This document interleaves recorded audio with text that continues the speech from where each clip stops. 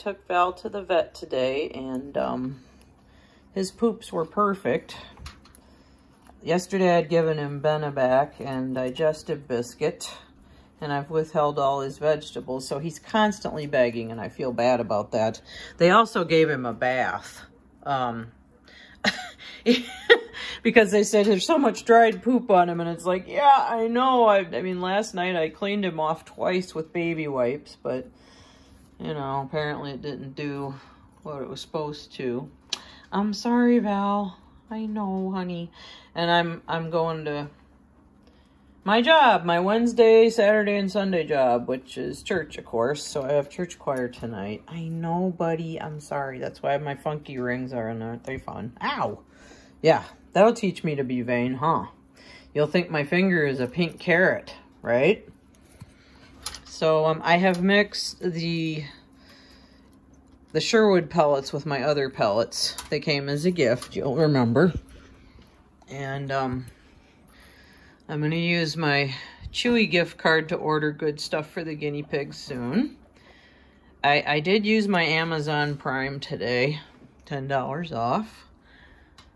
But it was for me, I was selfish. Sorry, but yeah. Sometimes you need things. So, you know how it is. Right, Lena? Yeah. So I'm I'm hopeful that things are going to improve now because in the past four days I've lost two piggies. I lost Grayson and worst of all, I lost my Lila. And I miss her so much, but what can I do? I had to do the right thing. Um, it was uh, my favorite exotics vet, Dr. Gary, who saw Val today. And I told him that Lila had passed away because he treated her too.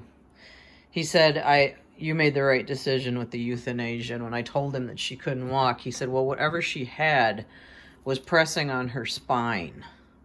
So he thinks she had some sort of cancer inside that was pressing on her spine and made her paralyzed. So just from his experience with many, many years of treating all kinds of animals. So there's Daisy. Yeah, I picked her up. I held Daisy today.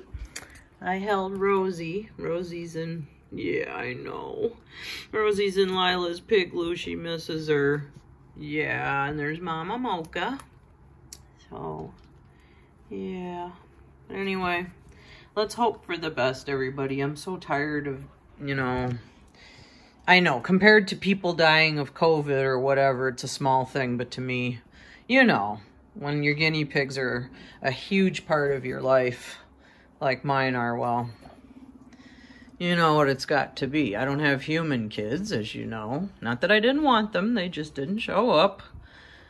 And uh, so forth, so yeah, yeah. So I decided to go with fur kids, that's right. well, everybody take care and paw prayers, and I'll see you later. Bye.